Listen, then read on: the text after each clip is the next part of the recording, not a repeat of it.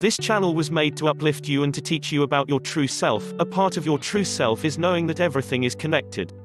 Even you and nature. The trees breathe in what we breathe out, and we breathe in what they breathe out. Right now there's a major crisis going on in the Amazon rainforest. We need to protect it at all costs.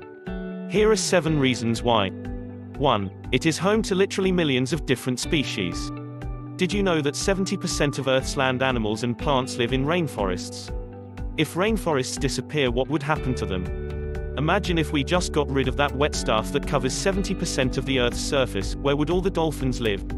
2. There are potentially millions of animal and plant species that are yet to even be discovered. If deforestation continues at the current rate, not even a quarter of these will be discovered before they are killed off. 137 rainforest species are exterminated completely every single day.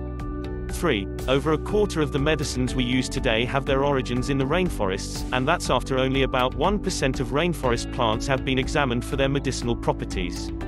Imagine what else could be there. It's not crazy to think that our best chance of curing the diseases, such as malaria and HIV, that plague our world, could lie within the rainforest. 4. The rainforest helps to regulate the world's water cycle. Trees play an important part in the water cycle, grounding the water in their roots and releasing it into the atmosphere.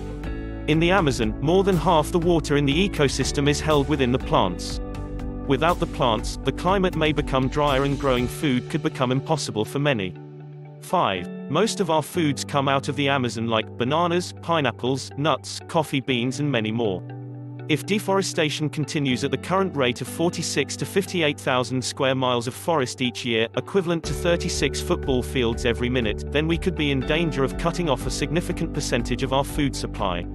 6. Deforestation drives climate change. Removing trees deprives the forest of portions of its canopy, which blocks the sun's rays during the day and holds in heat at night. This disruption leads to more extreme temperature swings that can be harmful to plants and animals. Trees also play a critical role in absorbing the greenhouse gases that fuel global warming. Fewer forests means larger amounts of greenhouse gases entering the atmosphere and increased speed and severity of global warming. 7. The biggest reason to save the rainforest is the effect deforestation has on local economies.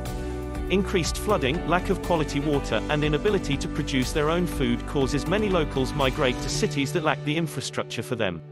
Or sadly, the only way they can make money is to work on plantations, worsening the deforestation problem and at times being subjected to inhumane dangerous working conditions. I hope this video opened your eyes, have a great rest of your day.